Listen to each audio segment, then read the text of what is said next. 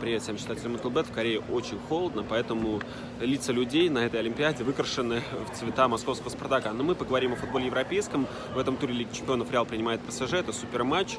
А, и здесь результат довольно интересен, потому что с одной стороны да, ПСЖ всех давит в чемпионате Франции, но все-таки уровень там не тот.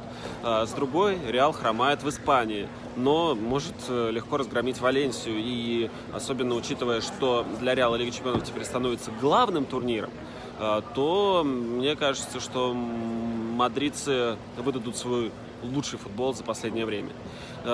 Именно поэтому я предлагаю вам ставить э, просто на домашнюю победу Реала с коэффициентом 2,3 на 1х ставка.